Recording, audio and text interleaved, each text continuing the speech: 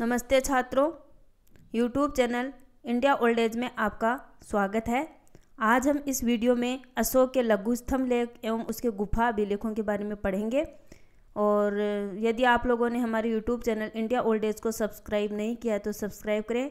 यहाँ पर आपको इतिहास विषय से संबंधित जो भी परीक्षाएँ हैं, उनसे संबंधित महत्वपूर्ण बातें आपको मिलेंगी।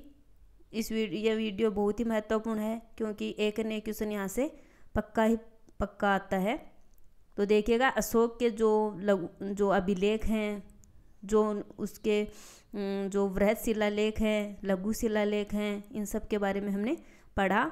अब हम पढ़ेंगे गुफा अभिलेखों के बारे में। तो देखिएगा, पढ़ते हैं अशोक के लघु स्तंभ लेख एवं गुफा अभिलेख।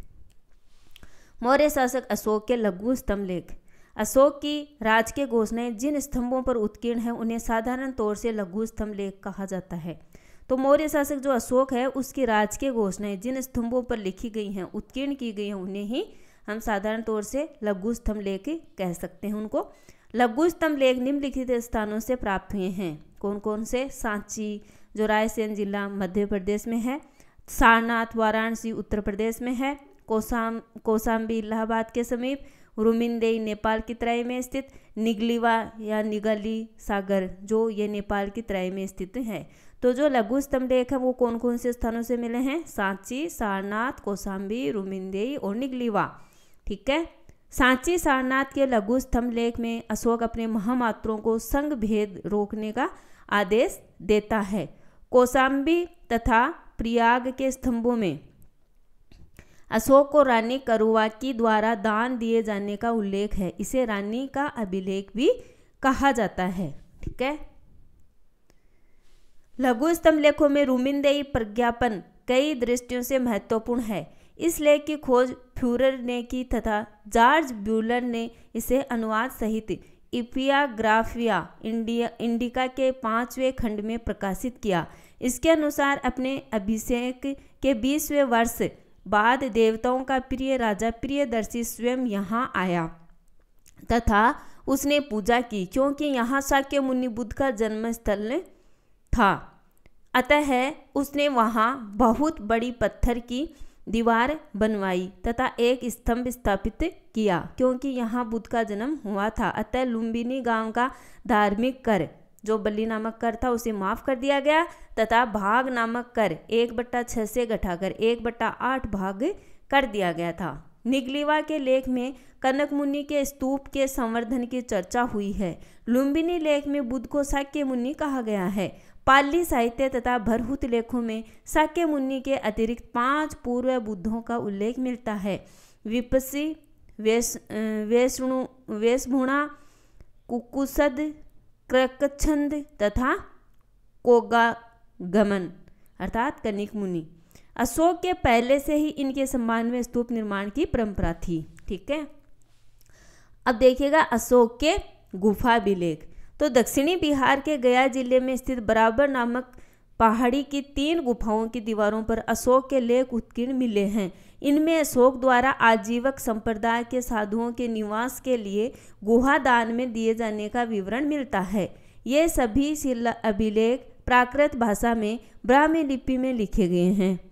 ठीक है? तो जो गुहा, गुफा जो अभिलेख है, वो प्राकृत भाषा में तथा ब्राह्मी लिपि में लिखे गए हैं। केवल दो अभिलेखों, शाहबाज शाहबाजगढ़ी तथा मानसेहरा की लिपि ब्राह्मी नौकर खरोष्टी है। तो शाहबाज शाहबाजगढ़ी और मानसेहरा जो गुफा अभिलेख हैं, उनकी लिपि है वो ब्राह्मी नौकर खरोष्टी लिपि है। यह दाई से बाई ओर लिखी गई है। इन लेखों के अलावा तकशिला से अरामेयिक लिपि में लिखा गया है एक भग्न अभिलेख।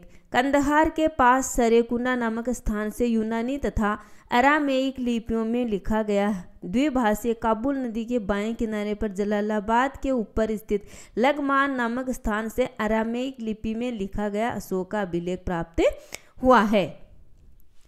बराबर पहाड़ी गुफा अभिलेख जो गया बिहार में स्थित है। इसकी खोज हेरिंगटन ने सत्रह सौ पचासी ईस्वी में की थी। यहाँ पर कुल चार पहाड़ी हैं, जिनमें से तीन अशोक तथा एक दशरथ मौर्य ने बनवाई थी। ठीक है? अशोक के तीन पहाड़ी बनवाकर आजीविकों को दान में दी थी, जो निम्नलिखित हैं। कौन कौन सी हैं? कर्णचोपर गुफा, सुदामा गुफा, विश्व झोपड़ी गुफा। ये अशोक ने बनवाई थी। लोमस ऋषि की गुफा। दशरथ द्वारा बनवाई गई तथा आजीविकों को दान में दी गई। तो कर्ण, चोपर, सुदामा, विश्व झोपड़ी, ये तो अशोक ने बनवाई और लोमस ऋषि की गुफा ये दशरथ ने बनवाई थी। नागार्जुनी पहाड़ी गुफा अभिलेख, ये गया बिहार में है। दशरथ द्वारा बनाई गई तथा आजीविकों को दान में दी गई। यहाँ के लोगों ने इसका नाम गोपिका वर्णियका वहिपका दे दिया, ठीक है? तो जो दशरथ है उसने लोमस ऋषि की गुफा और नागार्जुनी पहाड़ी गुफा बनवाई थी, ठीक है? इस वीडियो में हमने अशोक द्वारा बनाई गई जो गुफा अभिलेख है, उनके बारे में इम्पोर्टेड जानकारी प्राप्त की। हमारा वीडियो अंत तक देखने के लिए आपका बहुत बहुत धन्यवाद।